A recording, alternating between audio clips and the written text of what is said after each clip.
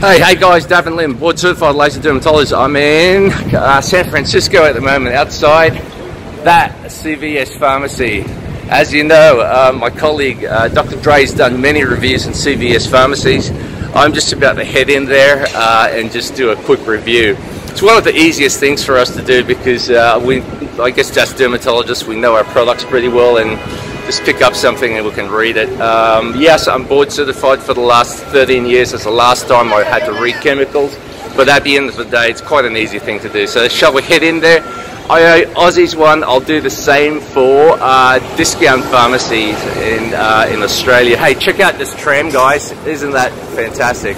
Streets of San Francisco. I thought I was fit. Um, man, my calves were aching for the last two days. But anyway, let's head into the pharmacy and let's see what we can find out, hey? Uh, San Francisco is a beautiful, uh, absolutely beautiful city, guys. Uh, I love America. Um, if I could do things again, yes, I'd probably practice here. But um, let's take a closer look and see what we can find in this pharmacy. Take off this, I look too suspicious with my hoodie on. Look like I'm about to rob this pharmacy at 7 o'clock in the morning. Um, but anyway, let's stroll, stroll through the um, the aisles and see what we can find. Hey guys, so I'm in CVS, um, which is the Australian equivalent of um, Chemist Warehouse, and just browsing around before I hone into a few things. Uh, looking at the prices for stuff, it's very similar dollar for dollar, even though our dollar's what 72, 73 cents an hour. Um, looking at the moisturizers, the skincare range, very, very similar, but there's a big difference which we'll go through shortly. Um, so here we are. Um, security hasn't got on to me that I'm not Dr. Andrea Dray. Um, kind of Asian to put on 200 pounds. Sorry, that's a cheap shot there. I do really like Andrea. She's a great dermatologist. Her knowledge, her actual knowledge for ingredients and skincare is out of this world. As you know, I'm a laser and uh, procedural dermatologist, so most of the time I uh, get paid to um, poke you, stab you, cut you, um, stick a needle in you, or uh, laser the heck out of you or peel you. So um, I don't usually prescribe but um, the basis of my dermatology, if anyone's dermatology, is basically um, knowing all these ingredients. So, yes, uh, we have to study these for our board exams, and they're so ingrained in us that we don't forget. And it's been nearly what 13 years since my board exams. Um, hey, just just just a little um, note here: Rogaine or Regaine. I think I did a little segment on hair. Um, exactly the same price if you convert it from um, the US dollars to Aussie dollars. So, look, like I said, similar products, um, very similar prices. Hair dye, which I go through a lot, um, is very similar. You're paying about 10 bucks in Australia, you're paying what, 7.99 here, uh, much and muchness. And the active ingredient's still the same. But there's this one thing which, um, this is my, my specialty because I started off in photobiology. So sunscreen, sunscreens I know, um, well, I wouldn't say I know backwards, but I know it pretty well. And um, they are astounding because um, sunscreens, in fact, are not regulated in many countries, but they are heavily regulated in um, America. America, as, exactly, dude. In America, I need some sunscreen. And yeah, I'll tell you what sunscreen you get. Um, okay. Are you from down under? I'm from. I'm a dermatologist, so if I can, if I can recommend something. Yeah, please. Yeah. Uh, have you got? Um, I'm trying all of them. So. Uh, banana boat's pretty good. Yeah, uh, because because I'll tell you what, it's cheap. It's got a high high, high factor SPF. Um, and it's it's yeah I think it rated number two and number three in Australia. So can I take this on an airplane? Uh, aerosols, no. And I'll tell you what. Uh, by the way, aerosols don't give you good coverage. The reason mm. being is that you use less. so convenient. It is convenient because you're just going like this and not yeah. getting messy. But you sold me. Yeah, but banana boat fifty. yeah, fifty. Banana boat fifty guys. And hey, I don't work for banana boat. I don't work for any of these guys. Thank you. Hey, no worries. Good. Hey, um, that's a dermatology consult there normally, but I um, trust you. That, that's that's fine. You know that's okay. I'll send you the bill later. See ya. okay, so here we are with the sunscreens, but look at this, look at the regulations between them. You've got everything from SPF 30 to 30 to 70 to 70 to 30 to 30 to 30 to 70 to 110. Neutrogena makes it 110. We don't see that in Australia, guys. Um, we've got 50s, we've got we've got everything. It's so confusing. No wonder that dude's confused. He's looking at stuff and just going, man, look at this. What's a, there's an SPF 60 here. Um, and then this is the confusing bit with the Neutrogena. It goes like this. In Australia, I think it's um, what is it? Is it 45 or yeah, 45? I think. Um, but here you got 45, and then you've got um, just to confuse you, they give you an 85. The ingredients are very similar. Um, so they use um, they call it Helioplex, but when you look at the active ingredients, um, believe it or not, these these are really old ingredients, packaged up, avobenzone, um, and that's a really good long wave uh, UVA. So um, long wave UVA protection uh, in oxybenzone, which is UVB, and um, those are the main ingredients that give you this. They're dirt cheap, cheapest chips. Packaging is really nice, like really, really nice compared to everything, and that's why um, you're paying for um, paying for the sunscreen. Now, the other favorite sunscreen of mine, as you know, is this Anthelios. Right, uh, this is my sunscreen of choice, and I usually get the Anthelios. We just call it Anthelios XL, right? And here they still they, they still go under the name Anthelios, and it's really confusing. Um, Anthelios 60 um, Ox Shield XL.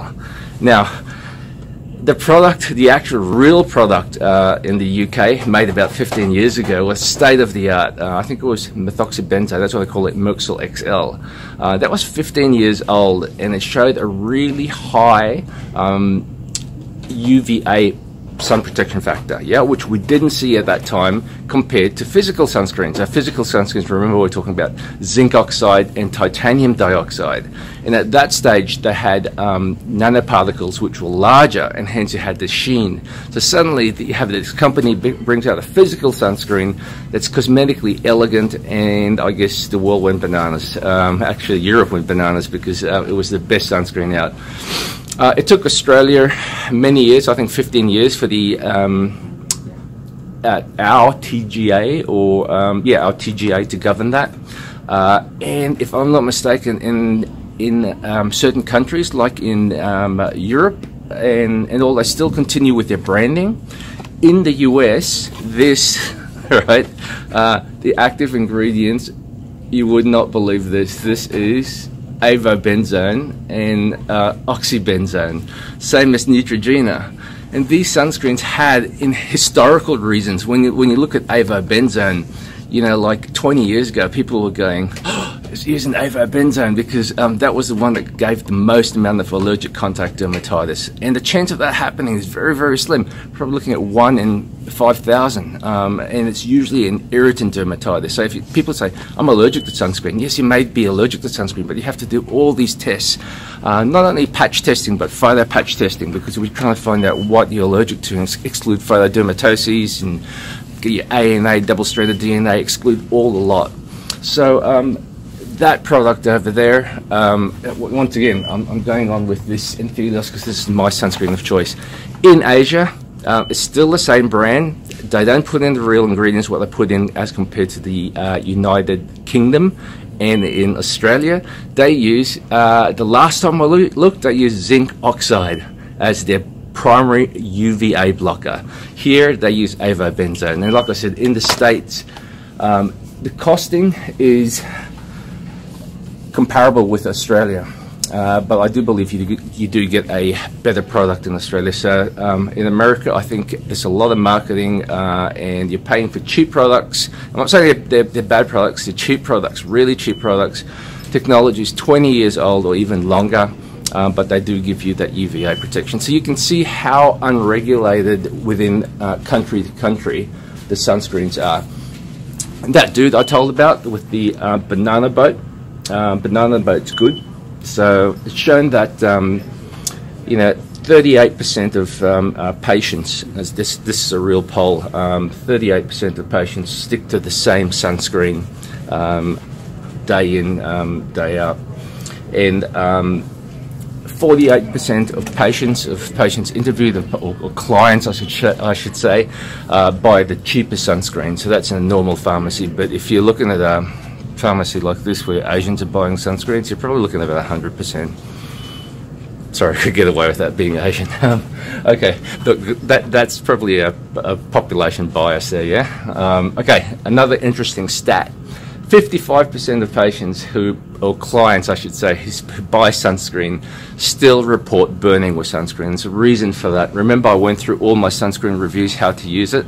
We're looking at 5 grams. 5 grams is a teaspoon, and a teaspoon is supposed to cover your face, your neck, your ears, and your décolletage. So that's why you have a teaspoon. You go, you know, we're not going to wear a teaspoon, but everyone's forgetting their ears and the back of the neck, the sides of the neck, and that's why you see all these women with these all these poikiloderma Civatte.